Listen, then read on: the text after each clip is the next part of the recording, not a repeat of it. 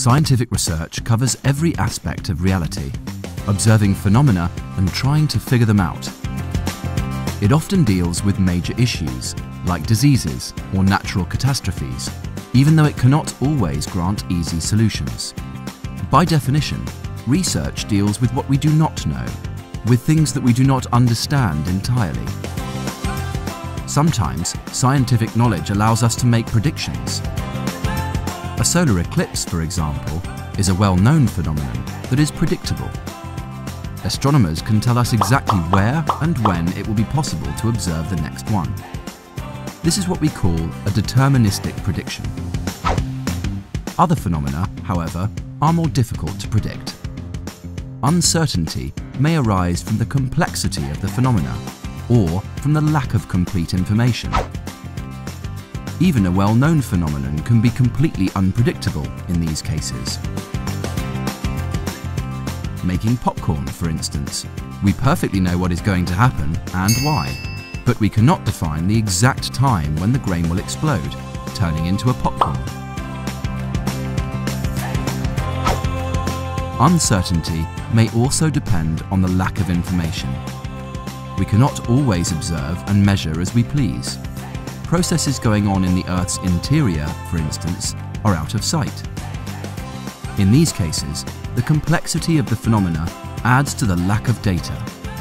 Uncertainty grows and our capacity to predict gets smaller. Scientific research may reduce uncertainty by improving our ability to measure and interpret data. But there's more. Research also studies what to do when uncertainty remains large and an exact prediction is not possible. Knowledge and experience allows us to identify the natural phenomena to be expected and to draw possible scenarios. We can calculate the probability that a certain scenario will occur and assess the expected impact. When a forecast is not possible, quantifying the uncertainty helps us to envision what may happen. And it narrows the infinite span of possible outcomes down to a reasonable number of alternatives, some more probable than others.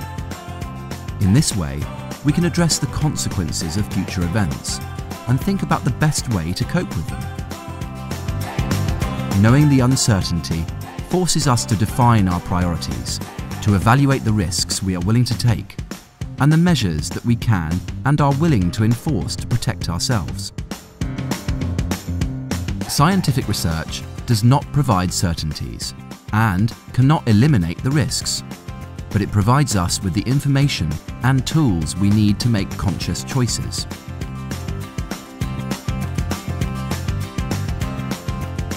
It is up to all of us, living on this unpredictable planet, to make the best of this knowledge, sharing decisions that pertains our land, following good practices and choosing appropriate behaviours and actions to lower the risk and mitigate the effects of natural phenomena.